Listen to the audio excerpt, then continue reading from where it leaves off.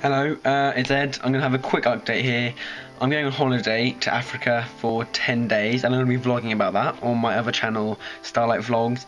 But, yes, I'm not going to be uploading for 10 days. Hopefully PJ will be uploading something as well, but I don't know if he's going to upload anything at this rate. Uh, something to keep you entertained for the next few days is just about to happen. It's a little clip of my mother talking to me about packing on holiday. I'll see you in a bit. Right. Have you got pants, socks, shoes? How many pairs of shorts you got? Got four pairs of shorts. If you're recording me, I will smash that thing. I mean it, Edward. Right. Uh, Well, that was a bit intense. Anyway, I'll see you guys soon. Bye!